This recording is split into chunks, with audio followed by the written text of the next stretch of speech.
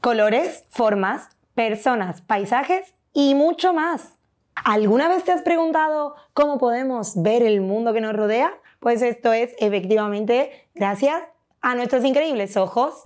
Ellos son los que nos permiten ver todo nuestro entorno. ¿Que por qué estamos empezando hablando de esto?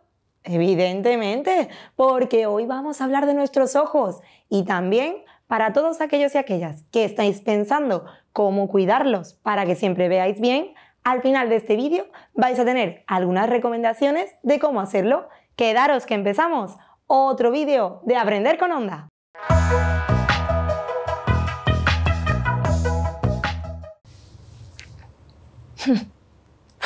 ¿Cuántas cosas? Vamos a ver. ¿Cómo vamos a saber cómo es nuestro ojo si ni siquiera sabemos por qué se compone?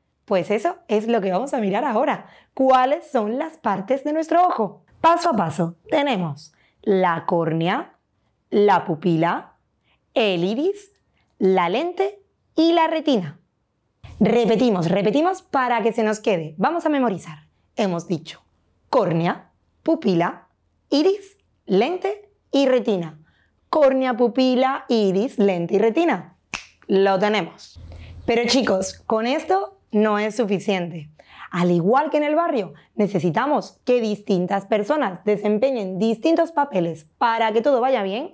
En el ojo pasa exactamente lo mismo. Vamos a ver, aquí queremos que las calles estén limpias, pues trabaja la mesa de limpieza. Oye, que nos queremos tomar un pitufo por la mañana, necesitamos gente que trabaje en las cafeterías del barrio. ¿Y sabemos a qué se dedica la córnea, por ejemplo?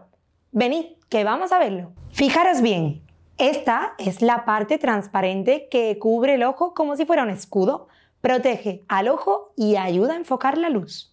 Pasamos, pasamos ahora, como estáis viendo aquí, a otra parte distinta. ¿Ves ese círculo negro en el centro de tu ojo? Pues ahí, ahí es donde está la pupila. Su función es cambiar de tamaño para dejar entrar más o menos la luz. Pasamos de la pupila al iris y ojo, que está muy cerquita, está alrededor de la pupila. Es la parte de color del ojo. El iris controla el tamaño de la pupila. Después del iris, ahora viene la lente. La lente está detrás de la pupila y ayuda a enfocar la luz en la parte posterior del ojo. ¿Y cómo la vamos a llamar a esta parte? Pues retina, la última que nos faltaba. Para acabar, ya nos encontramos con nuestra querida retina.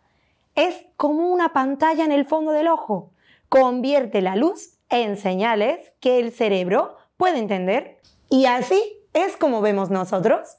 Ya sabemos las partes y las funciones de nuestro ojo, pero ¿qué podemos hacer para cuidarlo? Número uno, no te frotes los ojos. Las manos están llenas de gérmenes y te las puedes ensuciar o hacer daño. Número dos, ahora llega el veranito, el buen tiempo. O incluso en el resto del año también te va a servir. Utiliza gafas de sol que te van a ayudar a proteger tu vista. Número tres, no te acerques demasiado a la pantalla del móvil es que utilizo el ordenador porque es más grande y así me permite. No.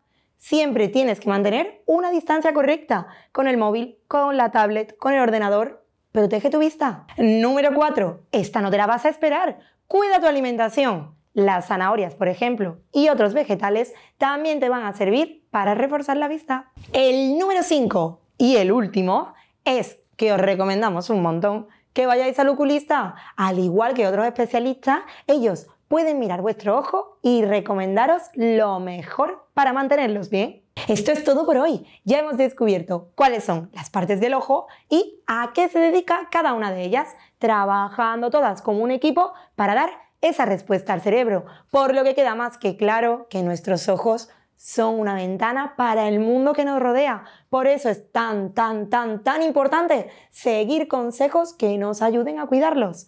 Hasta aquí otro vídeo de Aprender con Onda. No te olvides suscribirte a nuestro canal y darle un like. ¡Hasta la próxima! Y como no tenía las gafas puestas, no me he dado cuenta que se me había olvidado deciros el número de teléfono. El nuestro es el 656 60 8514 656 60 8514.